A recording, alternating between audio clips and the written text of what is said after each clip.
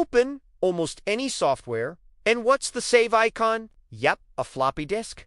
But seriously, who even uses those anymore? This little symbol is a digital fossil, a relic from a time when computers were chunky, and storing data meant actual physical media.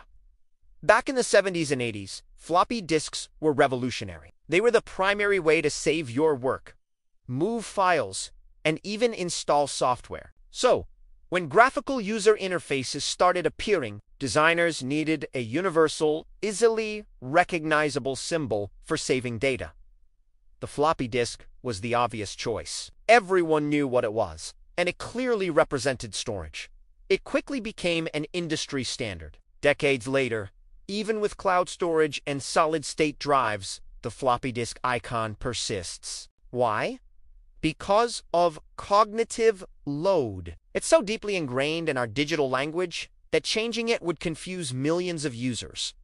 So, the retro disk lives on. What other old-school tech icons do you still use today?